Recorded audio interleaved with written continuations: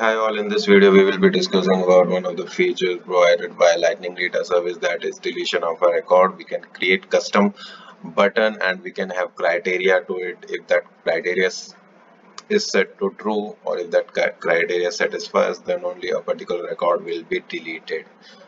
But a delete button is provided by Salesforce that's the standard delete button but we cannot define any criteria on that button we can just remove it from the page layout so no one can accidentally uh, remove or delete that particular account record.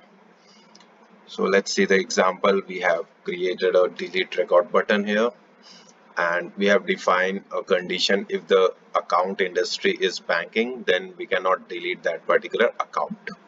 So we will just click on this delete record and as you can see we have a warning like account with industry as banking cannot be deleted. Because the industry is banking that's why this account this account we were not able to delete or has has not been deleted. Uh, I will change the industry to anything else that is might be communications. And I will check the same thing so the record was deleted and we, we were able to we were able to delete that record because now uh, the record or the account record which we were trying to delete previously is not having the industry as banking. Okay? So just see the so let's go to one and create one another account that may be uh, ABC limited I will save it and I will just go to industry and we'll change it to banking. And then I will try to delete it. So we will get that or we got got that warning message again because the industry is now banking. So it, to achieve this type of use cases we can use this delete uh, button which will be which will have some custom logic to it and we can define our business logic accordingly. Let's let's go to the code and see that. So it's just that uh, it, it will implement the force:appHostable and has record ID to get the record ID of that particular record. Then we have set some attributes and then the record data.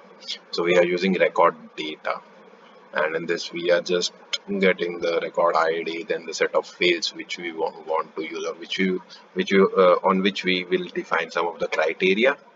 Then the target error and the target fields simple record is the object which we have created. The type of that attribute is object.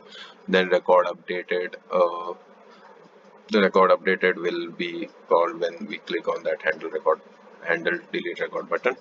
That is this button delete record so we'll just call this class and the on on click event. The handle delete record will be called.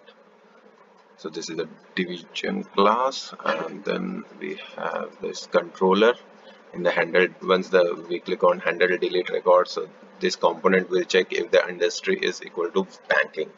And if it is equal to banking then they will show us this particular message on the screen and if it is other than banking then it will be able to or the component will uh, we will be able to delete that particular record. So as you can see the code we have written the same like delete record. So this is the standard function which we have to use. Component.find record handler is the id of that aura. This aura id is record handler. And then we are using delete record then this is the standard. Get callback function delete result. If delete result is equal to success then uh, if you want to you can print that message uh, and if you want to do some custom logic once the record is deleted you can do that stuff also yeah so in, this was all about the deletion of a record using lightning data service and we don't have to use any server call here because it's provided by lightning data service. Okay. Thank you. Have a nice day. Bye.